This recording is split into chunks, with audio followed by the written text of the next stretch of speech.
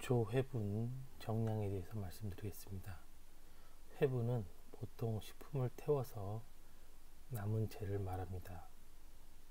식품이 가진 무기질의 총량에 해당하나 반드시 일치하지 않으므로 조회분이라고 합니다. 즉, 대다수의 식품에서는 염소의 일부가 회화에 의해 소실되든가 또는 유기물의 탄소가 탄산염의 형태로 다량 존재하기도 합니다. 이들의 정도는 시료의 회화 시간이나 온도에 따라 달라집니다.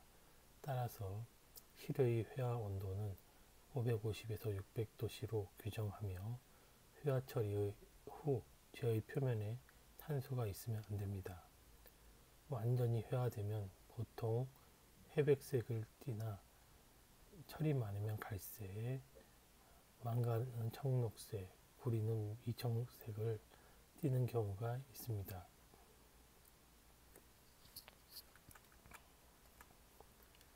실험기기 및 재료, 도가니, 도가니 집게, 저울, 전기 회화로, 데시게이터, 약수저, 진공 오븐, 그의 재료는 간, 양파, 컵라면이 되겠습니다.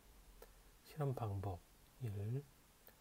도가니를 회하루에서 550도, 600도 이상으로 2시간 장려시키고 자체 용기가 갖고 있는 수분을 완전히 없앱니다. 2.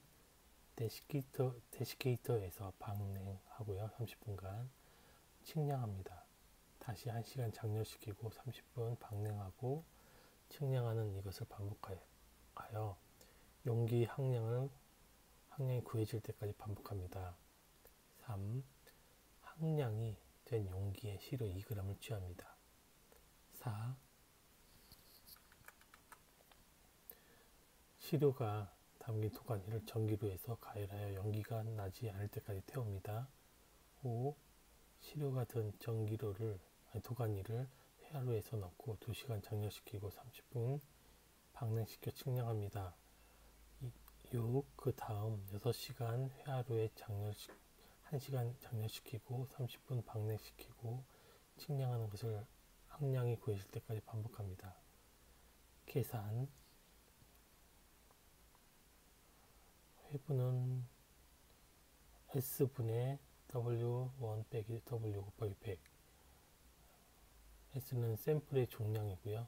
W1은 시료를 용기에 담아 회화시킨 후의 항량 W는 회화 용기 항량 이렇게 되겠습니다. 기본적 조작 1.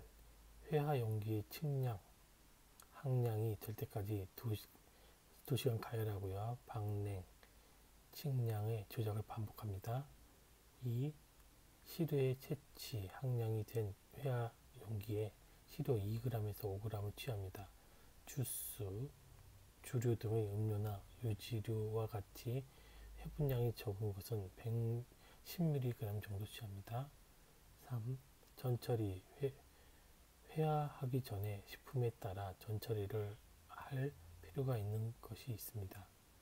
1. 전처리가 필요하지 않은 것, 곡류, 두류 이외에 건조식품은 그대로 회화합니다. 2. 예비 건조를 요하는 것, 야채, 과일과 같이 수분이 많은 것은 일단 건조기 내에서 건조시킨 다음 회화합니다. 주스, 주류 등의 음료, 간장, 우유 등 우유 같은 액체 식품은 수육상에서 증발 건조시켜 회화합니다. 3. 예열을 요하는 것 사탕류, 과자류, 정제 전분, 남백, 어육 등은 회화될 때 심하게 부풀어 오르기 때문에 용기에 비해 소량의 시료를 채취하거나 전열기나 버너의 회화 용기의 화면을 서서히 가열시켜 불꽃을 약하게 하여 먼저 수분을 증발시킨 다음 온도를 상승시켜야 합니다. 4. 연소를 요하는 것 유지류는 미리 기름기를 태워버린다.